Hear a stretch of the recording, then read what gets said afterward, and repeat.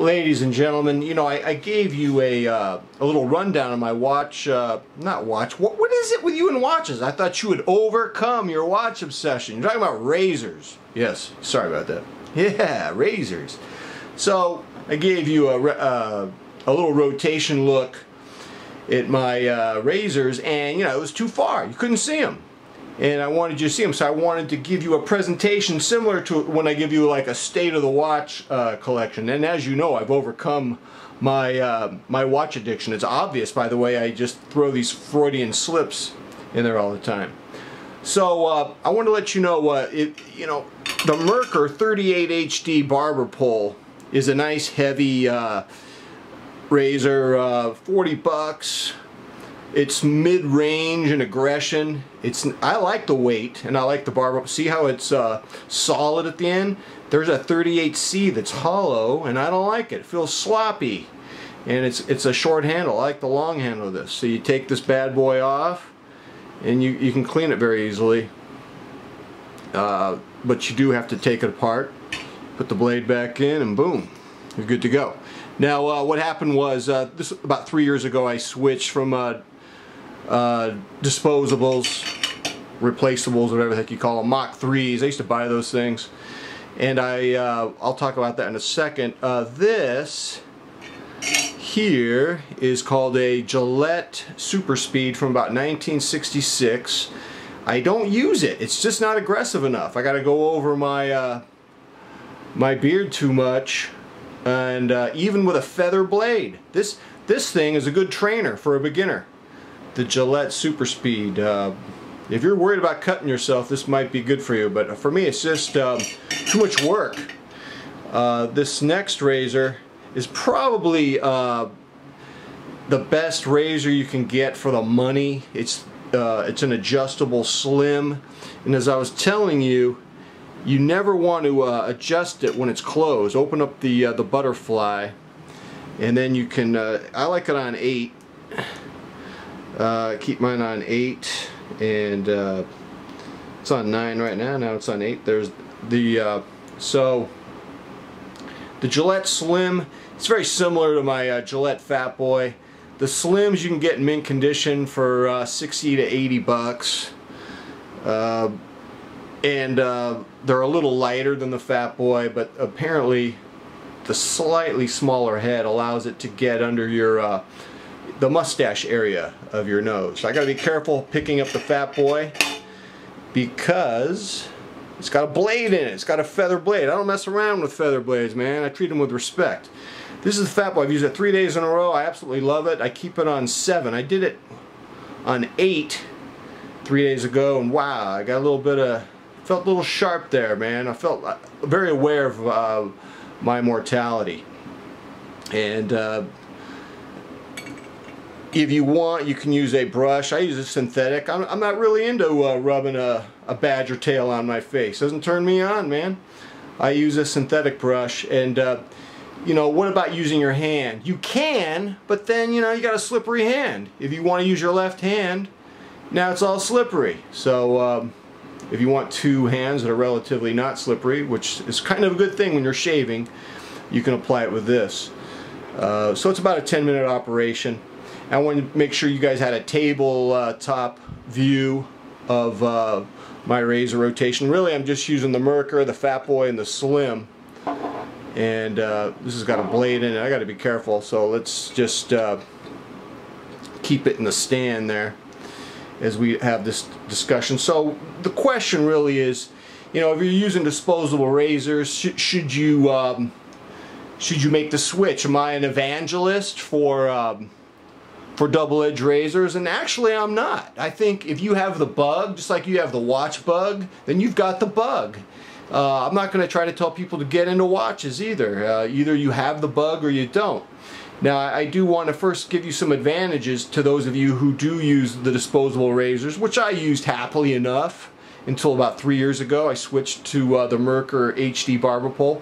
You've got your convenience, you've got your shorter shave time, You've got your shorter learning curve with the, uh, with the disposable blades. Uh, you don't cut yourself as much because they rotate and when it rotates it forgives your face And that forgiveness means a lot to people. Some people uh, will just shave in the shower with those bad boys. Why not? It's just more convenient. You're in a rush. I totally get it. Uh, the probably the biggest disadvantage to uh, shaving with a double-edged razor is when you're switching the blades, man. You you got to be careful, man. You want to touch the blades, you know. You want to touch the blades from here, not here, or else you're going to be bleeding all over the place. Knock on wood, I've not cut myself, man. I treat this thing with respect. So uh, I think transferring the blades from the packaging to your razor is your biggest uh, issue. Uh, you know, there are some disadvantages to disposable razors. I guess the, the number one uh, disadvantage is price. Uh, it, it, costs you about 200 bucks a year to buy Mach 3s. I think you can buy about, oh, I don't know, 15 for a little under $30. And I don't know how quickly you go through those. You know, my, my wife's uncle, she'll use one of those things for a month. But I can only use them for like three days, man. After three shaves, I'm done. I mean, it, it's too dull. And, and uh, honestly, uh, I don't like to shave more, the very most four times uh, with a blade. That's just me. I guess everyone's beard is different and how it affects it. Uh, so, you know, a year's worth of double-edged blades cost you 15 bucks for top-rated blades. And uh, it, it brings us now to what are the advantages of an old school razor that could really cut you, man. Why would you go into this world, McMahon? What is your problem, man? Well, number one, it began with the savings factor. I, I was appalled at the cost of those uh, disposables. And uh, the only thing that encouraged me is when I was on Amazon just now, it doesn't look like they've gone up in price. Look like looks like the uh, razor industry is very competitive and, and uh, they kind of maxed out on what they could uh, charge people. But nevertheless, uh, I still I still feel that they're just too pricey. Uh, that, though that's not the real reason why I shave the double-edged razor. Uh, it could be argued that the increased cut risk of a double-edged razor cancels the savings anyway. So I don't think that's the reason. I think the reason why I shave with double-edged razors, I think the reasons are intangibles. Uh, number one, you're pampering yourself. You're a guy, man. You're a dude. How many male rituals are there in this country that, that allow you to pamper yourself and not get teased, man? Uh, this is, is like one of the few rituals of, of male pampering where you're taking care of yourself and it's okay. No one questions that. As far as I'm concerned, uh, taking care of myself with a good 10 minute double uh, edge razor shaves, to me it's like working out with my kettlebells. I'm taking care of myself. And uh, I put it in the same category. Uh, so to me, spending 10 minutes uh, to shave, uh, you know, with my brush, my bowl of high quality shave cream, and an old school razor, it's like working out. And um, I feel like I'm taking care of myself. Like I said in a previous video, you got your rosebud factor, or maybe you could call it your nostalgia factor. You know, nostalgia is really powerful. Do you know that there's old dudes, man, who will go see the Rolling Stones and all these and the Who and all these bands because they want to relive the magic of their youth. I mean, trying to recapture the magic of your youth is powerful, man. You can write a best-selling book about that. And uh, so I think you do have your uh, your nostalgia factor. I guess you could call it your uh, rosebud factor, uh, which is one of the intangibles.